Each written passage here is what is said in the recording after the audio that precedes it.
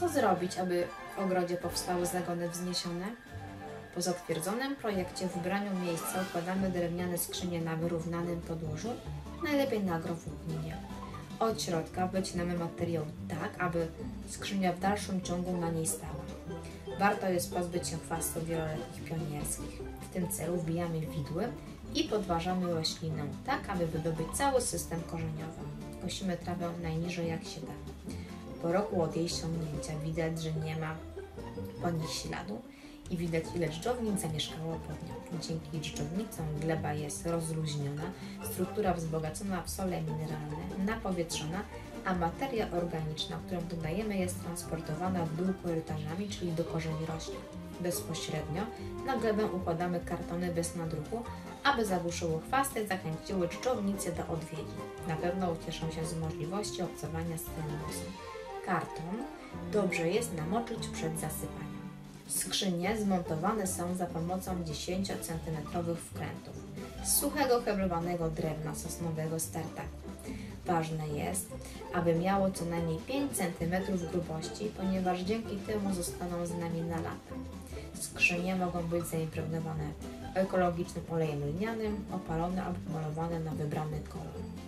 W moim przypadku deski są surowe, ponieważ takie podobają mi się najbardziej. Mam również pewność, że nic niechcianego nie przedostanie się do gleby. Na koniec dodajemy przekompostowaną materię organiczną, np. minimum dwuletni przekompostowany obornik, a na niego kompost, który jest najbardziej odżywczy i bogaty w składniki pokarmowe. Najlepszym rozwiązaniem jest nasypać tylko kompostu, jeżeli tylko posiadamy taką ilość. Tutaj widzimy różnicę między obornikiem dwu- i trzyletnim. Trzyletni jest zdecydowanie bardziej przerobiony. Wsypujemy obornik na grubość około 10 cm i resztę kompostu. Przed sadzeniem dobrze jest ubić ziemię, aby zlikwidować korytarze podziemne. Jeżeli zagony zakładamy jesienią, nic więcej nie trzeba robić. Natomiast zakładamy je wiosną, warto jest wejść na zagon stopami i ugnieść je stopa przy stopie. Wyrównujemy, sadzimy i obficie na koniec podlewamy.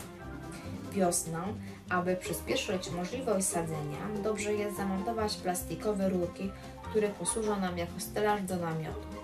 Po nałożeniu agrowłókniny powstaje tunel, który chroni przed wiosennym chłodem i tym samym przyspiesza możliwość sadzenia roślin do gruntu.